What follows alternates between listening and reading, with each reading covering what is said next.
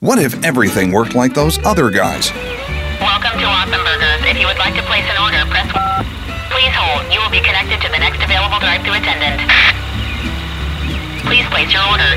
Uh, yeah, For I'll get Awesome it. Burger, press 1. For orange soda, press 7. For fries, press 15. For tomatoes, press 2. For ketchup, you have pressed an incorrect button. Please hold.